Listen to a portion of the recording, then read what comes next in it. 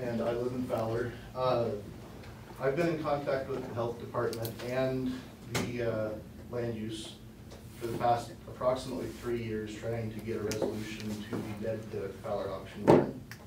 Uh, it- The smell can be almost unbearable at times. Uh, They have sent letters and done stuff, and they got them to stop for a short period of time, but they've since resumed their just open pit disposal of dead animals. Um, I was, I was assured after working with the health department at the start by Lex that the land use was the correct path to use. Uh, But, of course, I mean, looking at this paperwork, which I presented you with, the state health department has regulations for disposal of carcasses, uh, especially ones that could be non-ambulatory or have uh, pathogens that could be transmissible to humans. So I'm here requesting that you guys will assist me in following up with both the health department and with land use in trying to permanently solve this issue.